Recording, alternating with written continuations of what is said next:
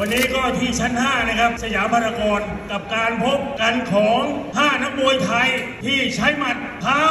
แล้วก็ลำแข้งในศึกฮิปราว สังเวียนมวยโรอ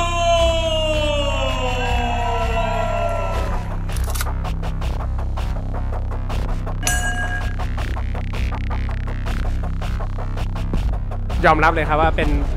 ภาพยนตร์ที่ให้รสชาติหลากหลาย เรียกว่าเซอร์ไพรส์ครับ นานๆจะเห็นภาพยนตร์สารคดีที่เกี่ยวกับวงการมวย ได้เห็นชีวิตคนจริง ๆ แล้วก็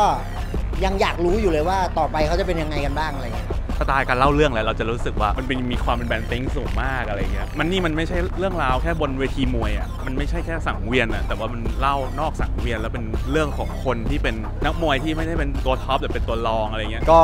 อยากฝากทุกคนให้ไปดูหนังเรื่องนี้นะครับรู้สึกว่าเป็นหนังที่ทุกคนน่าจะเอนจอยได้ไม่ใช่เฉพาะคนที่อินกับเรื่องมวยอย่างเดียวครับ